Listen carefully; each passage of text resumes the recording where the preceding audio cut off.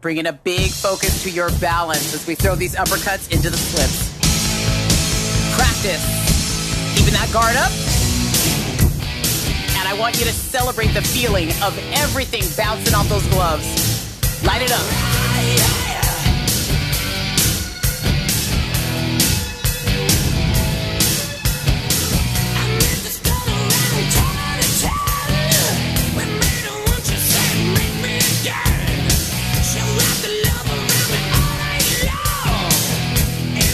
We talked about balance, and your footwork is a big part of that. Make sure you're never tangling the feet or stepping directly in front of or behind. Make sure you're matching the spacing of the feet as you have that marker right in the snow. Hey.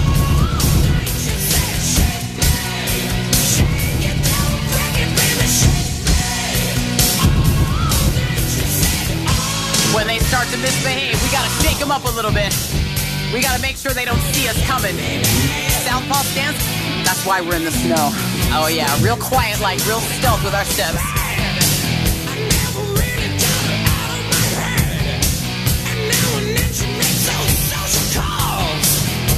Now, when it comes to your balance, don't be afraid to build into that chamber.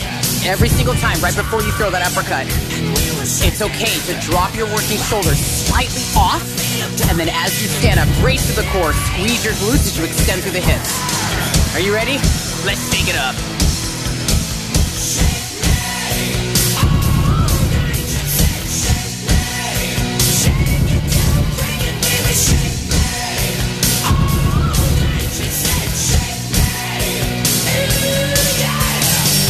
Orthodox stance here.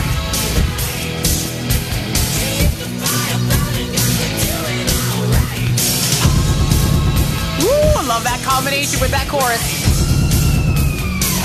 And if at any point in your workout it starts to feel like you're folding a fitted sheet, you know, because who knows how to do that, just pull back and relax a little bit.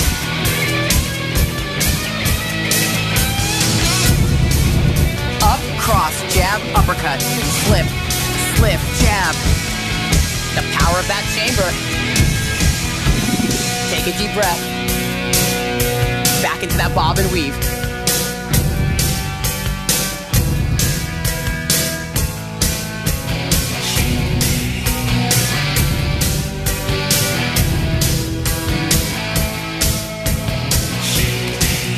This is your safe space. This is where you get to unleash all of your inner rock god and rock goddessness.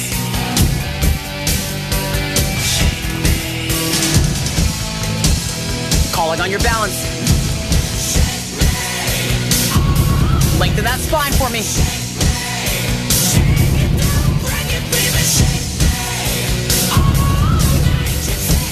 Oh, we answered the call. We shook off yesterday. We shook off yester month, yesteryear. We're going for that platinum upgrade on our health and our life right here in New Zealand.